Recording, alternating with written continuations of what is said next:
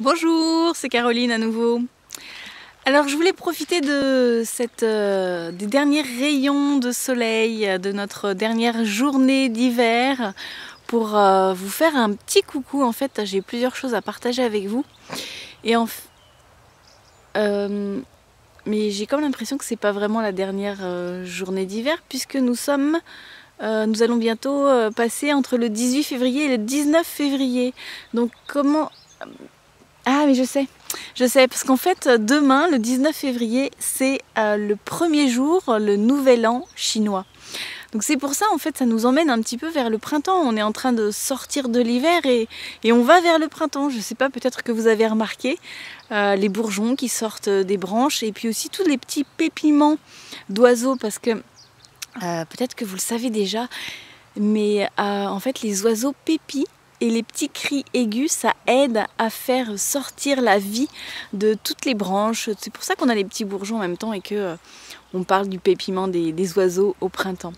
Mais mis à part ça, donc nous sommes le dernier jour d'hiver. Donc c'est un peu la saison où on est à l'intérieur. Peut-être que vous passez beaucoup plus de temps à l'intérieur, à l'intérieur dans sa maison et à l'intérieur de soi. Et donc comme en même temps ce soir c'est la nouvelle lune, je voulais vous demander puisque cette nouvelle lune, elle nous appelle à vraiment choisir ce qu'on a envie de laisser derrière soi, quelles sont les choses qu'on va définitivement lâcher pour renaître à soi?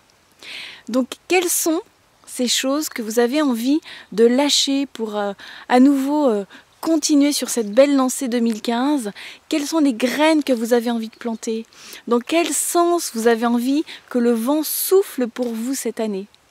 Donc je vous laisse avec ces questions, réfléchissez bien, c'est encore l'occasion cette fois-ci euh, de se dire ok, qu'est-ce que j'élague, qu'est-ce que j'enlève, de quoi est-ce que je m'allège? Et vers quoi je vais? Qui est-ce que je décide d'être? Quels sont les projets que je veux vraiment voir fleurir cette année? Donc je vous souhaite une merveilleuse année. Euh, au niveau du calendrier chinois, je vous souhaite un bon début de printemps et on se retrouve très prochainement. Décidez bien à l'intérieur de vous. Écoutez, sortez dehors pour savoir quelles sont les graines que vous avez envie de planter pour cette année. A bientôt sur carolineburel.com. Au revoir.